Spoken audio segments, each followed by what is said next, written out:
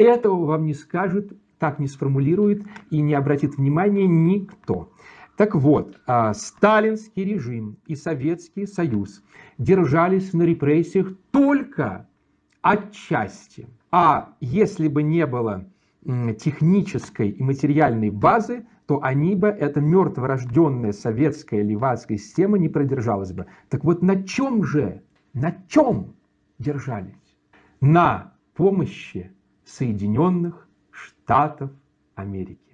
Дело в том, что фактически вся это не, не красивое какое-то эффектное слово для ролики, это в прямом смысле, в научном, в математическом, в техническом. Вся тяжелая промышленность Советского Союза была а, построена, придумана, осуществлена, сконструирована, привезена, установлена гражданами Соединенных Штатов, инженерами и так далее.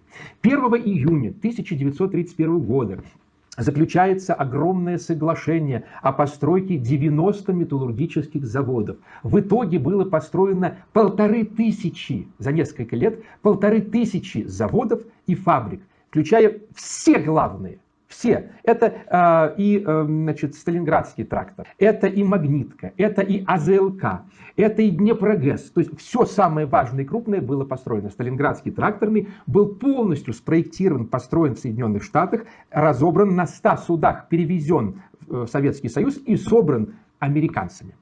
У наших не получалось. Даже если брали оттуда трактор, разбирали, тут его не могли собрать. Поэтому покупали вместе с иностранными специалистами, американцами. 200 а, тысяч инженеров приехало в СССР. Плюс американские профессора обучили а, еще 300 тысяч наших специалистов. Это вот за несколько лет.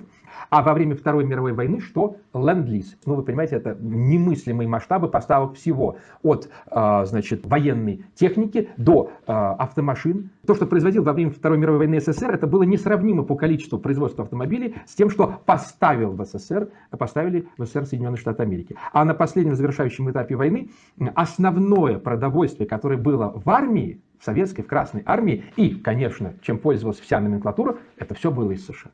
Но это абсолютный факт. Вы с этим спорить не можете. Это невозможно с этим спорить.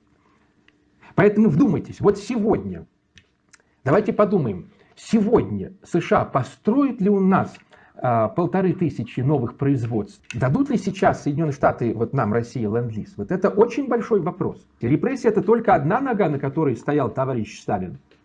И а, Сталин понимал, что оставшемуся населению нужна сказка. Сейчас не понимают.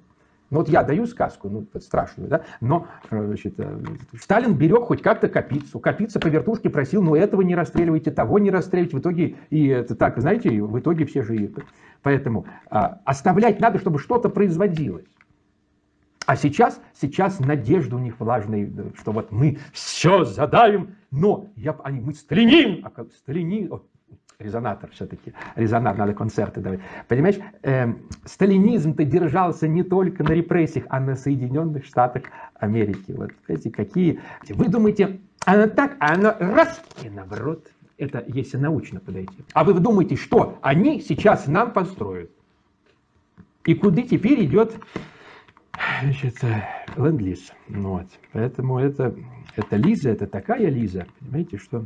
Но надо же думать, надо же было меня послушать. Я же все сказал, как оно будет. Блядь.